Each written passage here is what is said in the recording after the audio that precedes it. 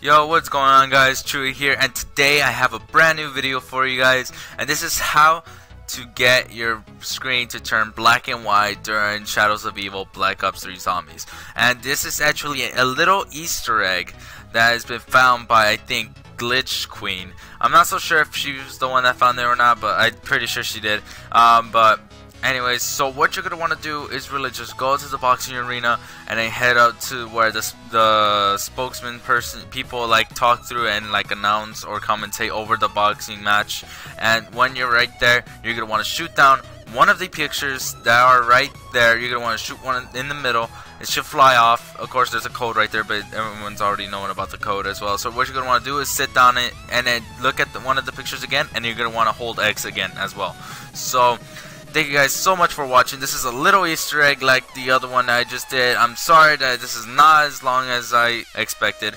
So, um, thank you guys so much for watching and have a good day.